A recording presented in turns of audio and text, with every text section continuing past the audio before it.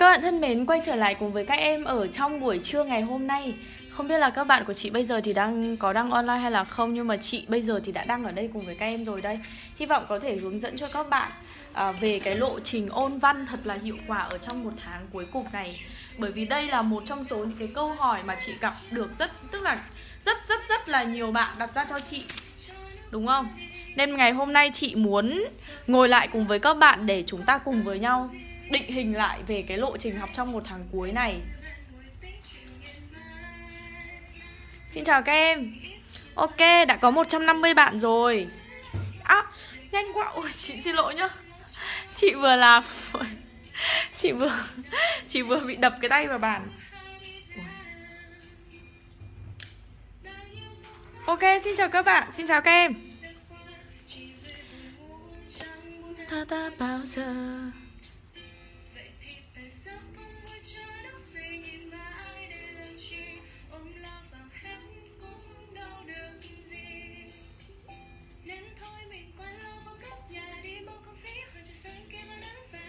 Tìm một ai đó ta yêu thương mà ôm cho thật chặt. Hello các em, quay trở lại cùng với chị nhá. Lộ trình ôn văn trong một tháng cuối. Các em đang gặp vấn đề gì trong việc học văn? Hãy list ra ở đây để chúng ta cùng với nhau giải quyết. Ok chưa ạ?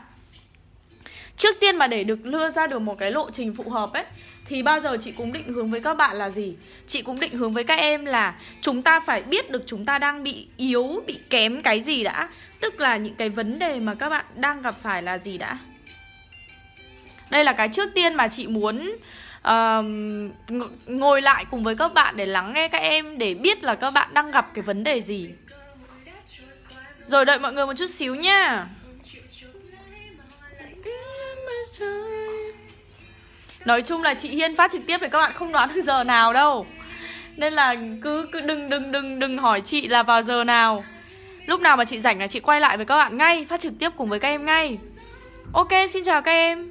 Chị nghĩ đây là cái mà các bạn đang rất là cần ở trong giai đoạn cuối này. Không phải riêng một ai mà tất cả các bạn đều đang rất cần. Vì chúng mình chỉ còn một tháng nữa thôi. Một tháng để ôn văn, đúng không ạ? Một tháng cuối cùng để uh, giành lấy tất cả những cái gì mà chúng mình đã cố gắng ở trong thời gian vừa rồi. Thế nên không có lý do gì mà các bạn lại không cố gắng cật lực ở trong giai đoạn này cả. Chị nghĩ là như vậy. Điều mà chúng ta cần bây giờ, cần làm bây giờ ấy Là chúng ta phải cần cái sự tập trung.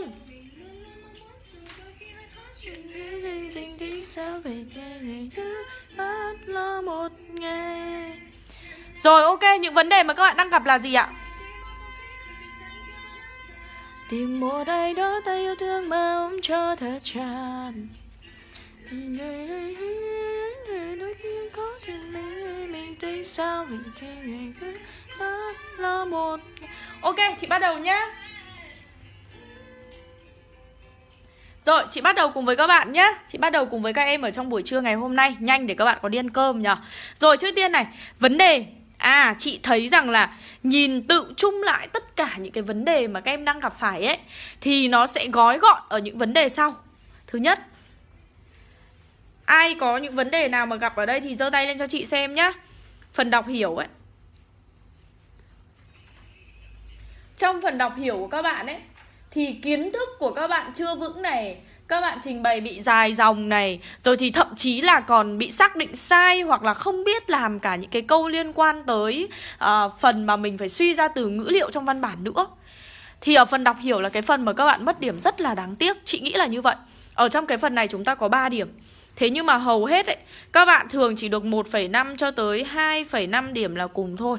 Rất là ít bạn nào đạt được trọn vẹn 2,75 hoặc là 3 điểm thì nói chung là những cái vấn đề học hiểu cũng là những cái vấn đề thường gặp thôi Được không ạ? À? Nhưng mà nếu mà các bạn, mục tiêu của các em là được 8 cộng ấy, Thì một lát nữa chị sẽ cho các bạn thấy là các bạn cần phải đạt được những cái gì Vào phòng thi mất trí nhớ, tác giả tác phẩm lẫn lộn nhau à Ơ, mấy cái đứa này buồn cười nhở? Học hành kiểu gì mà lại vào phòng thi mà lại để cho tác giả tác phẩm lẫn lộn Thì chị chịu các em luôn đấy Thật sự đấy Rồi, tiếp tục phần số 2 Là phần nghị luận xã hội các bạn thường viết một cái bài văn quá dung lượng.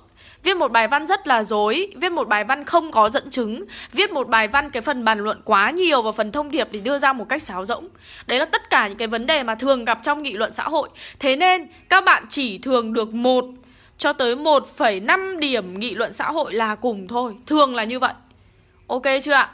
Nói chung là cái câu nghị luận xã hội này là một cái câu mà các bạn gặp nhiều vấn đề lắm luôn đấy Bản thân chị cảm thấy là các em gặp rất nhiều vấn đề trong cái này. Tức là các bạn thường bị mất điểm ở câu nghị luận xã hội. Thực sự là như vậy. Bởi vì về vấn đề là các bạn không hiểu bản chất. Thực sự là như thế Các em chỉ đang viết theo cách đơn thuần là Mình nhìn thấy đề là mình lao vào, lao vào, lao vào mình viết thôi Kiểu thế thôi. Rồi, còn cái câu số 3 này, cái câu nguy hiểm nhất này. Có lẽ đây chính là cái phần kiến thức mà các bạn mệt mỏi nhất Và đây là cái phần kiến thức mà các bạn kém nhất Chị cam đoan luôn. Đó là phần nghị luận văn học. Đúng không ạ? Phần này chiếm tới 5 điểm cơ. Phần này chiếm tới 5 điểm trong bài thi uh, Trung học phổ thông quốc gia của chúng mình. Phải không ạ? Cái bài này thì chị nói để mà nói về những cái lỗi mà các bạn thường gặp thì khủng khiếp luôn. Nhưng mà những cái lỗi cơ bản nhất Những cái lỗi cơ bản nhất mà kiểu như là thường gặp nhất ấy, Gây ra cái việc mất nhiều điểm nhất Thứ nhất là các bạn không cả biết phương pháp làm. Thế nên các bạn làm sai luôn Đi sai hướng luôn, viết linh tinh luôn. Thứ hai là các bạn không có kiến thức nền Nên các bạn viết lạc đề. Người ta hỏi về cái này thì trả lời về cái khác Thậm chí là cung cấp những cái phần kiến thức sai cho người ta Đúng không ạ? Phần thứ ba là cái phần diễn đạt của các bạn rất lùm củng Phần thứ tư là cái phần uh, những cái phần mà những cái phần liên hệ mở rộng là hầu hết các bạn đều không có. Tiếp theo là bạn các bạn phân tích nhưng mà lại chưa sâu, tức là triển khai vấn đề nhưng mà lại chưa sâu. Tức là chỉ triển khai một cách rất rất là hời hợt thôi Nghĩ rằng là mình viết như vậy là được rồi Đúng không ạ? Nói chung là có rất nhiều lỗi và thậm chí là có cả lỗi là không biết cân bằng thời gian Để rồi cái công nghị luận văn học này chưa cả kịp viết cái phần khái quát đã kết bài luôn rồi Nên là gì ạ? Chị, bản thân chị cảm thấy là gì? Chị cảm thấy là các bạn có quá nhiều những cái vấn đề ở trong cái việc hoàn thành một cái bài văn, hoàn thành một cái bài thi. Thế nên là ngày hôm nay chị ngồi lại đây cùng với các bạn để chúng ta cùng nhau nhìn lại về những vấn đề mình đang gặp phải. Và chúng ta sẽ tìm ra cái biện pháp tốt nhất để bản thân chúng ta ở thời điểm hiện tại có thể khắc phục được. Ok chưa nào? Các bạn ơi, các bạn dành bao nhiêu thời gian để học văn mỗi ngày ạ? Các em dành bao nhiêu thời gian để học văn mỗi ngày? Các bạn dành bao nhiêu thời gian để học văn mỗi ngày ạ? Bây giờ thì các bạn ở trên lớp đã gọi là gọn gàng Các bạn đã gọn gàng tất cả mọi thứ rồi đúng không? Không còn uh, phải dành nhiều thời gian để kiểu như là thi xong thi học kỳ tất cả mọi thứ xong hết rồi Các bạn dành bao nhiêu thời gian để học văn mỗi ngày? Các em có học không? Hay là các bạn không học? Ừ, ok, xin chào các bạn nhé Xin chào Linh, xin chào Hoài An Xin chào Mỹ Hằng. Các bạn có dành thời gian để học văn mỗi ngày không ạ? Đừng đừng đừng. Chị đặt tập trung vào cái câu hỏi chị đang đặt cho các bạn nào. Ừ, cân bằng thời gian là một cái vấn đề rất kinh khủng, rất nguy hiểm. Ok, Khánh Dương 2 tiếng. Ok. 2 tiếng đúng không? Rồi, An An 2 tiếng. Một tiếng vào sáng sớm. Ok, Hảo nói với chị là một tiếng vào sáng sớm. Cả buổi chiều luôn. Ok, Hoài Ngọc cả buổi chiều. 4 tiếng. Ok. Trời ơi, toàn những học sinh siêu tích cực luôn. Một tiếng, bốn tiếng. Rồi, một tiếng. Ok Không học luôn. Rồi, đây, một học sinh thật thà đã lên tiếng rồi đây. Đã thấy một học sinh thật thà lên tiếng Em không học. Ừ, Tuyên bố rất hùng hồn. Thế bây giờ mà không thì bao giờ mới học? Ok, một tiếng. Thế trong cái một tiếng đấy, trong 4 tiếng đấy, trong cả buổi chiều đấy Thì các em làm gì với môn văn? 3 tiếng, ok tốt. Em không học. Rất nhiều người đang đưa cho chị câu trả lời là em không học. Ồ, Ok, chị tôn trọng. Chị không không có gì phán xét các bạn cả Bởi vì đây là các bạn đang rất trung thực với chị. Và chị cảm thấy cái điều đấy là một cái điều tốt. Rồi Em không học luôn. Thỉnh thoảng học Thích thì học. Rồi ok. Không phải ngày nào cũng học. Không ạ à? Được. Nói chung là như thế là trung thực. Cả buổi luôn. Bây giờ chị đang muốn hỏi là với những bạn mà đưa cho chị thời gian là 4 tiếng này. Đúng không? Là một tiếng này. Là hai tiếng này. Là cả buổi chiều này. À Quang Nguyễn là 24 tiếng luôn. Trời ơi, Quang thì chắc chắn là thủ khoa rồi đây Không phải chuyện đơn giản đâu. Học ngày, học đêm thế này cơ mà. Thì các bạn làm gì trong cả cái buổi đấy? Nói chị nghe. Các em làm cả làm Các em làm cái gì trong buổi đấy? À học xong rồi quên ạ. À. Rồi. Các em làm gì trong buổi đấy? Hả 900 bạn đang xem phần livestream của chị. Các em làm gì? Các em làm gì ạ? Luyện đề à? À kiến thức đã đầy đủ hết chưa mà đã luyện đề? Ok, hết tất cả phần kiến thức rồi đúng không? À. Rồi 3 đến 4 mà bài một ngày Một ngày 2 đến 3 tiếng. À dành thời gian để làm đề. Đọc văn mẫu 2 tiếng rồi viết ra luận điểm lớn. 4 tiếng giải quyết từng đoạn văn. À em không có hứng để học. Giờ được đã được 1.000 bạn đang xem phần livestream này rồi đấy, đúng không? Lúc nào tâm hồn cũng bay bổng. Em À lúc nào tâm hồn bay bổng em mới học. Trời ơi, các em mà học hành này thì chết. Thật sự đấy. Chị cảm thấy nguy hiểm lắm. Nguy hiểm về cái kiểu học của các bạn ở thời điểm hiện tại. À lúc thì sơ viết sơ đồ, Lúc thì nghe chị Hiên. Ôi, Trời ơi. À đọc thuộc hết các tác phẩm, Sau đó đi vào nội dung. Em định 30 ngày cuối cải văn, Bây giờ 30 ngày rồi đấy. Còn định cái gì nữa? Hả? Muốn đấy à? Muốn muốn điểm thấp ô thi Trung học phổ thông quốc gia Mà bây giờ còn không học. À em xem dàn ý mấy bài khả năng cao. Em biết được bài nào khả năng cao à? Bảo chị với Thảo. Thảo ơi, Thảo biết bài nào khả năng cao à? Bài nào bài nào dễ vào đấy? Bảo chị với chị ôn cho các bạn. Trời ơi là trời, Các bạn ơi là các bạn. Đây, bây giờ chị sẽ Giúp cho các bạn có thể sáng tỏ mọi thứ luôn này. Và đây nhá, Ngày hôm nay, Chị mong là Các em có thể cố gắng Lấy cho chị cái quyển sổ tay kế hoạch hành động được không ạ? Đây rồi các bạn ơi, Những bạn nào mà đã có cuốn sổ tay này rồi thì các bạn sẽ cực kỳ dễ trong việc ôn văn luôn. Thật sự là như vậy. Ở trong này các em ơi, Chúng ta có ở đây ạ.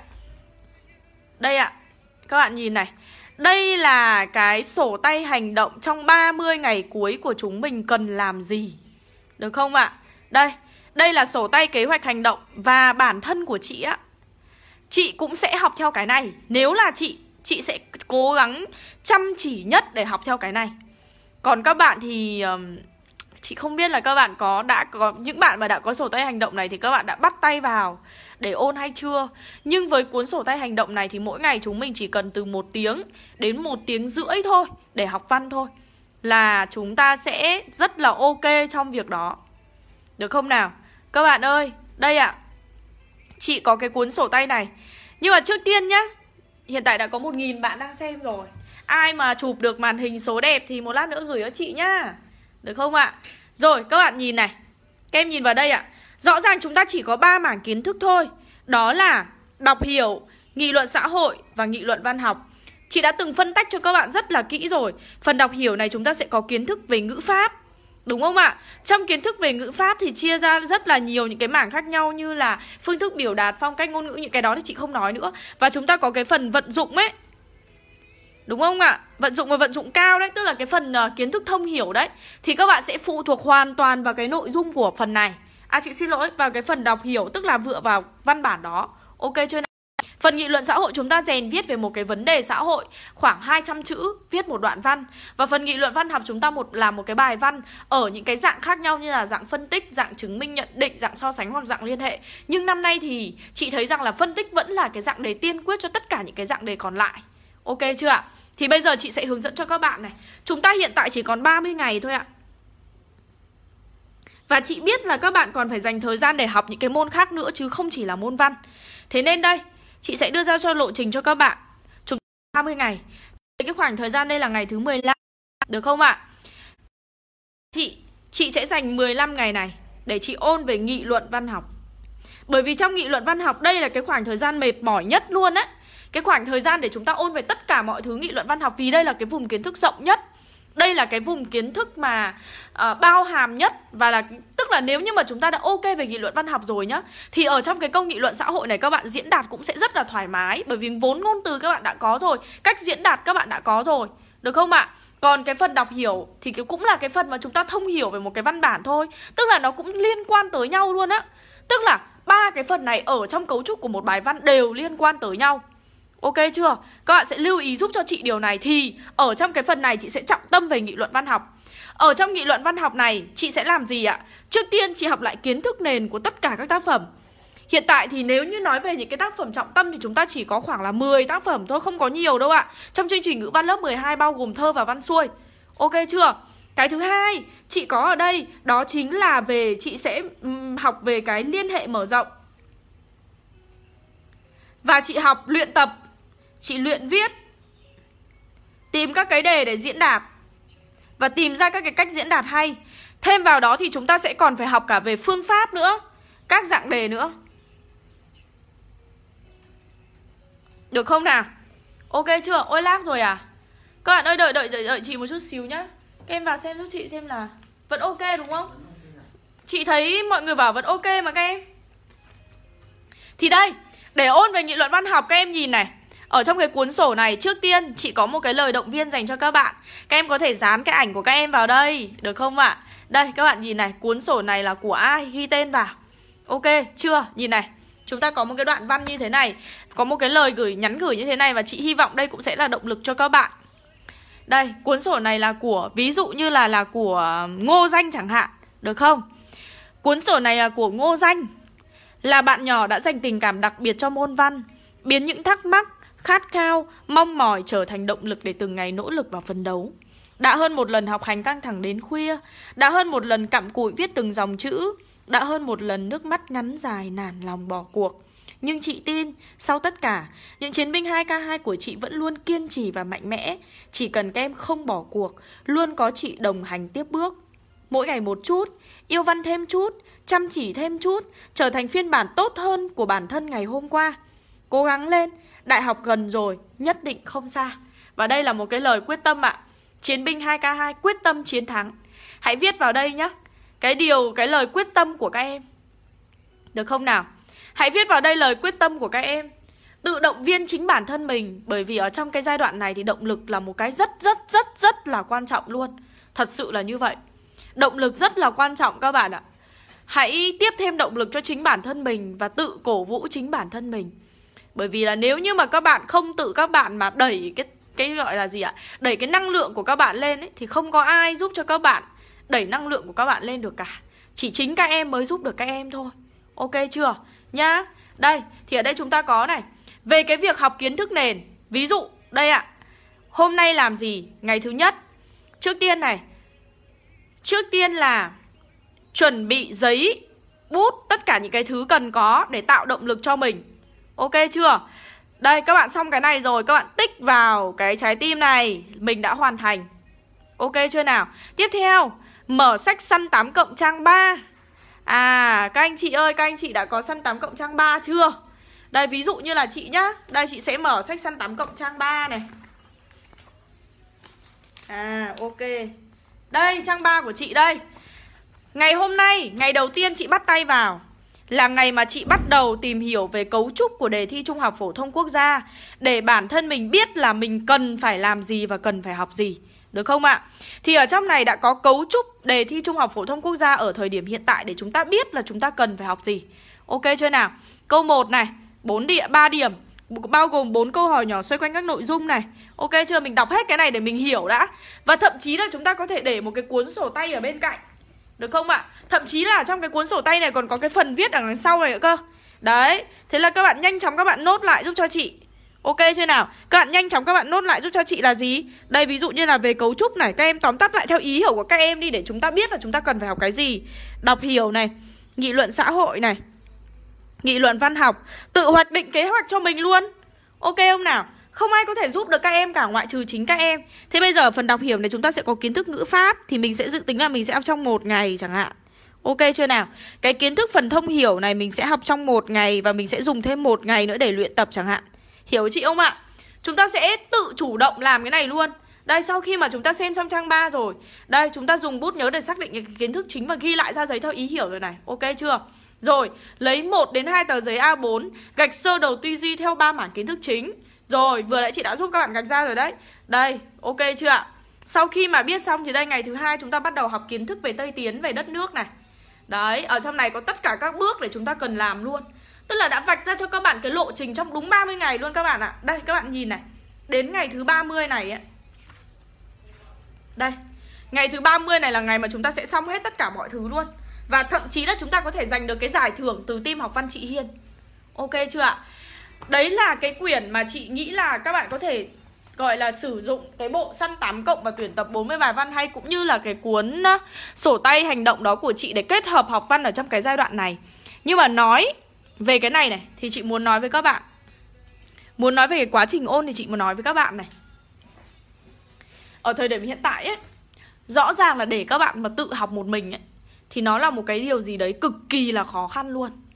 Thực sự là như vậy chị cảm thấy là có một cái điều gì tức là Nó là một cái điều khó khăn với các bạn kinh khủng luôn ấy. Bởi vì chị biết được rằng là Các em kiểu có quá nhiều những cái lo lắng ở bên ngoài nữa rồi ấy.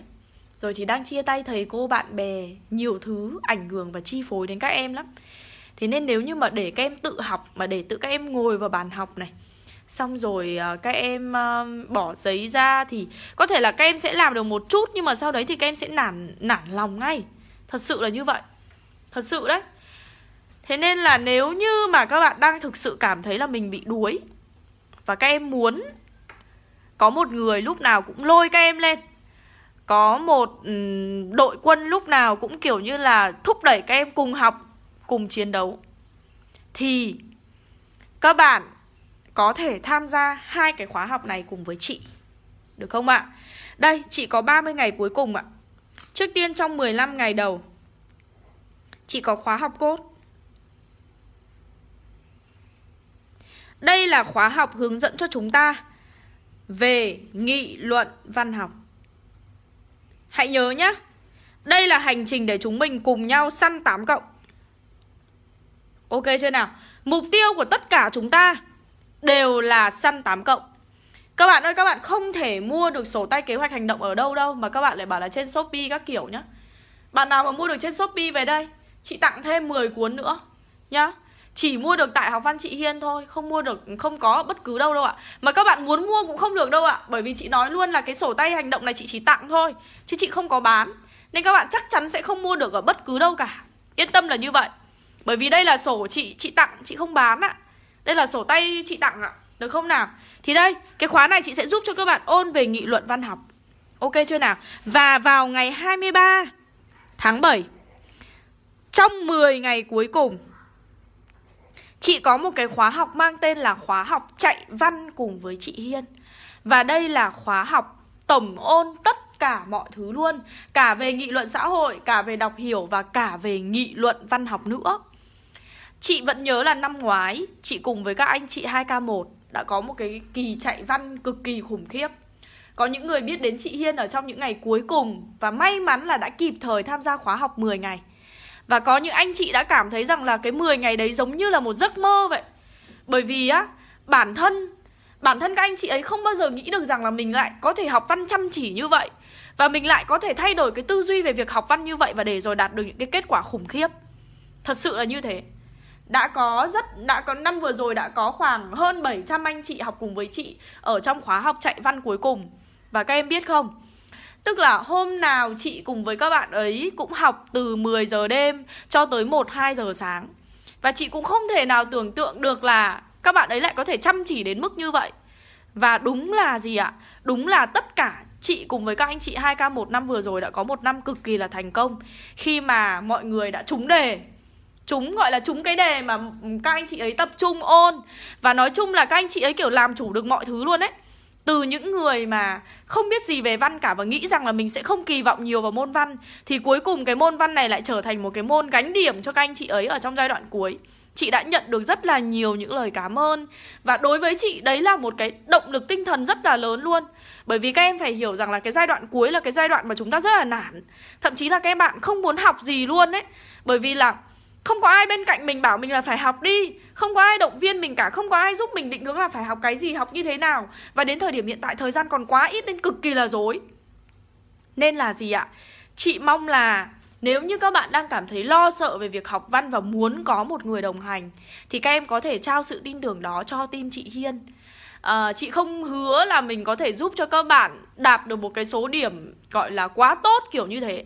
Nhưng mà chị xin hứa là chị sẽ dùng tất cả cái sự nhiệt huyết của mình để giúp các em chinh phục được cái mục tiêu mà các bạn đề ra.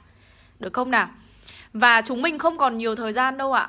Cái thời gian cuối này là cái thời gian 30 ngày chúng ta cần phải thực sự tập trung Phải hiểu được mình cần phải học gì Mình cần phải học như thế nào Và mình cần một cái động lực lớn như thế nào để mình không bỏ cuộc giữa chừng như thế này Ok chưa ạ? Còn tất cả những cái thông tin về khóa học cuối cùng của chị dành cho 2K2 Các em có thể uh, Ôi sao lại thế? Bạn các em ơi, bạn nào mà chưa Tuấn Điệp ơi, nếu mà chưa có sách hay gì thì các bạn phải nhắn tin về phản hồi lại ngay nhá. Tại vì dạo gần đây ấy là fanpage học văn chị Hiên trong cái thời điểm vừa rồi cực kỳ là nhiều tin nhắn. Ngày nào cũng vài trăm thậm chí là một vài nghìn tin nhắn. Nên là các bạn phải chủ động nhắn tin về cho fanpage liên tục vào để cho để cho các anh chị không không kiểu bị rơi cái tin nhắn của các bạn ấy. Được không nào? Ok chưa? À, chị mong là gì? Chị mong là các bạn có thể có được một cái lộ trình tốt nhất ở trong một tháng cuối này. Và hãy nhớ nhá, trong khóa học 10 ngày là một khóa học cái khóa học dành cho bạn nào Bắt đầu muốn chuyển sang văn để ôn văn tập trung này. Gọi là tìm một cái cơ hội cuối cùng để giành được cái số điểm cao môn văn này. Dành cho những bạn nào vẫn còn đang mông lung Không biết chuốt lại kiến thức như thế nào để sẵn sàng bước vào phòng thi này. Dành cho những bạn nào mà mong muốn có thể học cùng chị Hiên Để có thêm động lực và có thêm những cái dữ liệu hay để hoàn thành bài viết của mình Bài văn của mình thật tốt này. Ok chưa ạ? Và hãy nhớ là khi mà các bạn tham gia khóa học này á Thì đây sẽ là phần quà dành cho các bạn. Chính là cuốn Điều nhỏ bé phi thường. Đây là ấn phẩm độc quyền của học văn chị Hiên Và tặng độc quyền chỉ dành cho những bạn tham dự khóa học 10 ngày cùng với chị thôi ạ. Tại vì là chị... Um, Nói với các bạn rồi, chị coi cái khóa học này của chị là điều nhỏ bé phi thường. Là một khóa học nhỏ bé nhưng mà giúp các em có thể làm được điều phi thường. Ok chưa nào? À, thế nên là chị mong là cái lộ trình ôn văn một tháng cuối khi mà chúng ta bắt tay vào cùng với nhau thì chúng ta sẽ đạt được cái kết quả cao nhất các em nhá. Chúng mình sẽ bắt đầu cái khóa 10 ngày vào 23 tháng 7 các bạn nhá. Ok chưa nào? Rồi, cảm ơn các bạn rất nhiều vì ngày hôm nay đã dành thời gian buổi trưa cho chị Và chị sẽ sớm quay trở lại cùng với các bạn ở trong những phần livestream tiếp theo thôi Chúc các bạn một buổi chiều vui vẻ các em nhé Xin chào và hẹn gặp lại các bạn, bye bye